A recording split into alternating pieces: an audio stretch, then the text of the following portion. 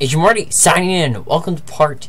Is it part 20 already? No. Welcome to part 19 of the C++ and SFML 2 platform tutorial series. So last tutorial, we basically I just showed you guys how I like to create my textures that I use in the game, and I just gave you a brief tutorial on how to create textures and all that fun stuff.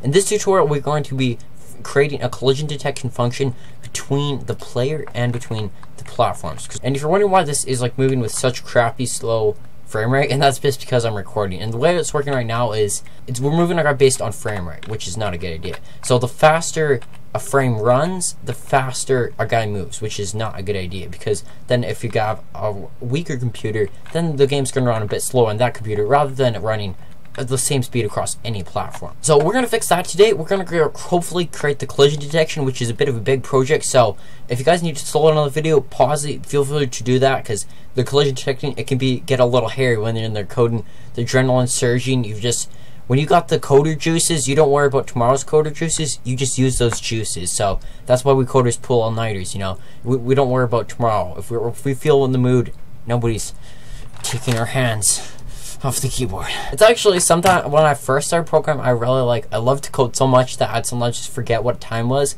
and it'd be like way later up than it really should have been when I had to do school and everything. Because it's just it was really a ton of fun. So anyway, enough about that. Let's start coding.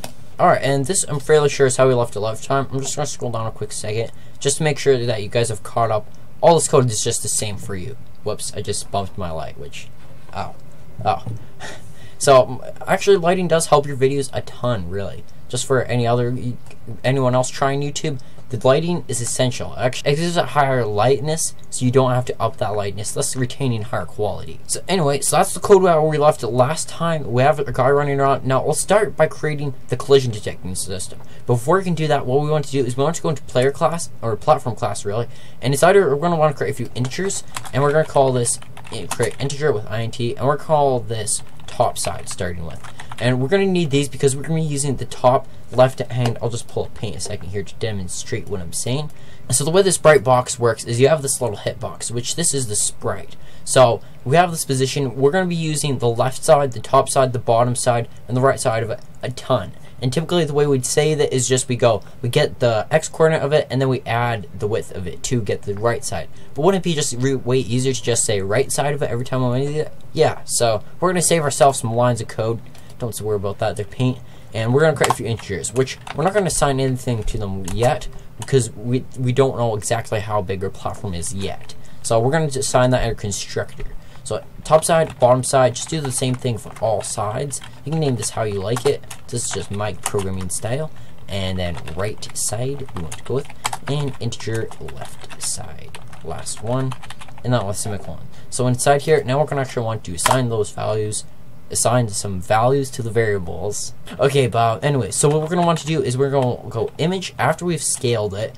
To gather the left side is fairly easy. It's just going to be x. So image dot get and well hold on a second. Before we do that we want to go left side because we're going to say what val what variable is getting the value. Left side equals and then we're going to go image dot get position dot get pos position and then dot x. Oh and then and off semicolon and that's all we're going to need for that. Then we're right side's a tad bit more complicated. Right side equals image again once more image dot get position is what we're taking a look at today. Get position opposite parameters. Make sure you spell right. Doesn't seem to like typos, which I understand. When I see a typo, I don't really like it either. So dot y, and then that's not the only thing we're gonna have to do. We're gonna have to add the width of it, but there's a bit of a glitch with uh, gathering the width of a sprite on SFML. It does not take into account transformations, that's rotations and scaling. So we're going to have to do that manually, not too big of a deal.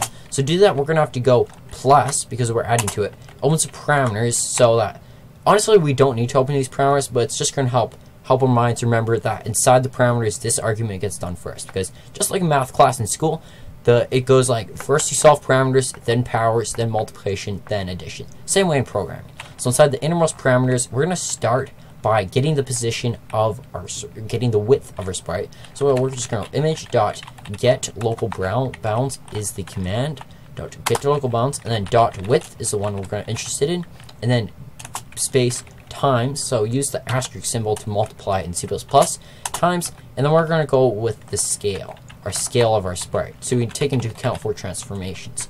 And along with a semicolon, whew, one big line. So hopefully my face is not covering up in the corner. So, and then just down the below, we're to do the same thing. We're just to go top side, starting with top side equals, and then we're, we're to go image once more. And again, you guys can probably predict what I'm about to do. I'm just to go do the same thing I did for X. Instead of X, I'm to use Y. So image dot get position, and then dot, again, I keep spelling, every time I spell position, I always spell wrong like that. I don't know why, just weird type of way. So dot, whoops, we used Y here, which up here, we're going to want to use X because the X position is the width of it. So th that's important to keep in mind. And then Y for here which easy enough for that. And then we're going to go bottom side because the bottom one, we're going to add a few more arguments to it. Like we're going to add, we're going to give it a few more instructions of what it exactly is, which is image dot get position. Why did I say get positions? I don't know. Oh well, the joys of the programmer.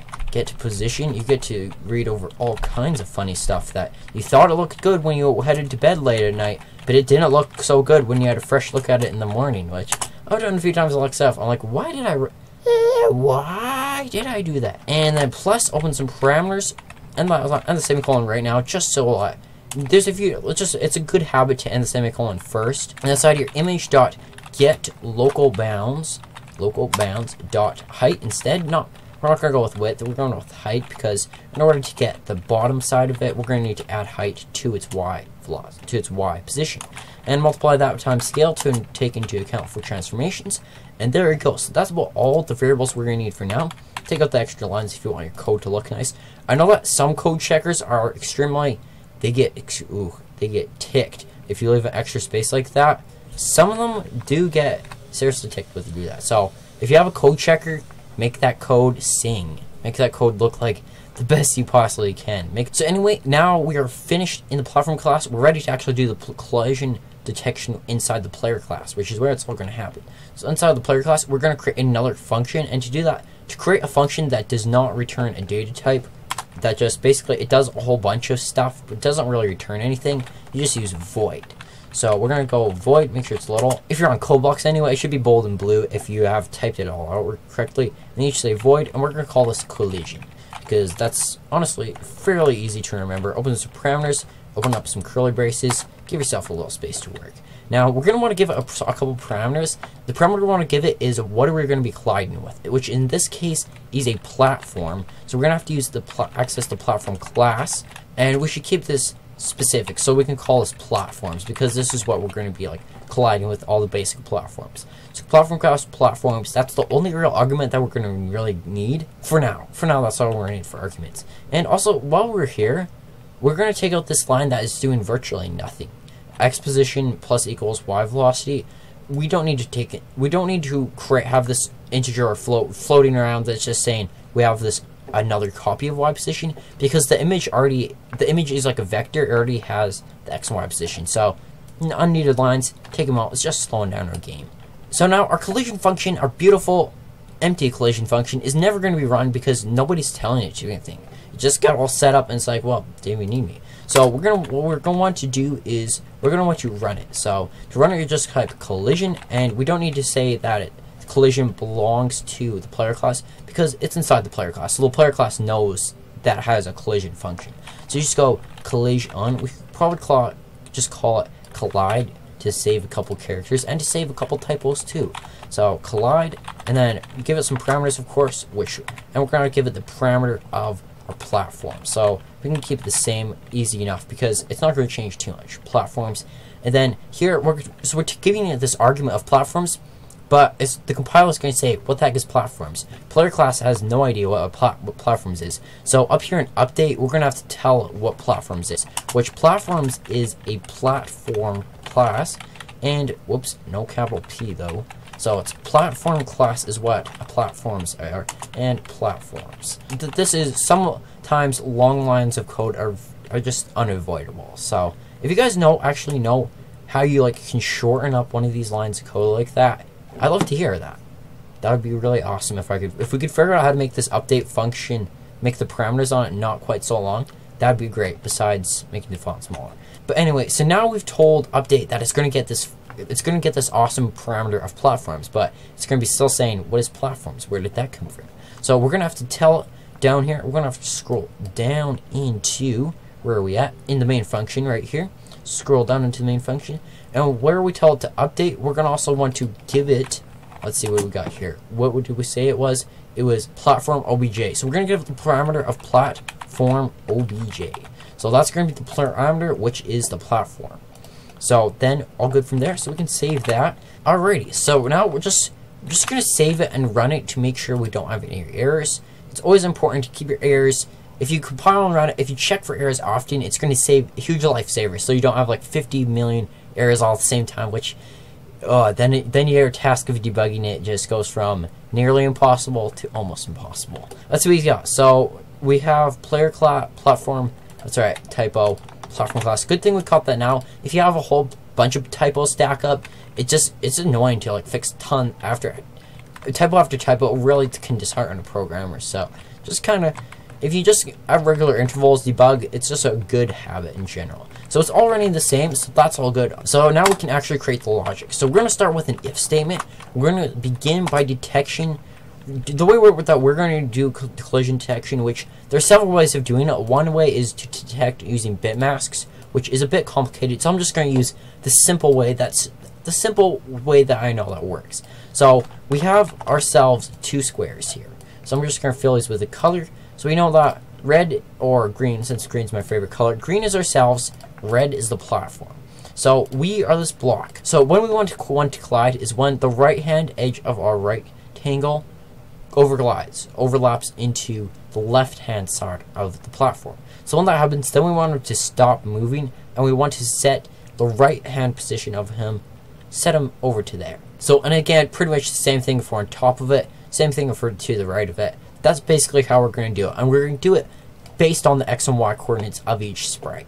I'm not sure if the way of doing it using a bit mask is more efficient or faster. I'm not really sure, but the way that of going about this, C++ is so fast anyway, it's not really going to matter, really. So first, we're going to test if our image dot, we're going to go get position is what we're going to want to look, take a look at. So we're going to want to begin by gathering the position of ourselves, which is going to be dot, is image dot get position dot x is greater than, so if we're overlapping into the platform's little detectable square, then something's going to happen.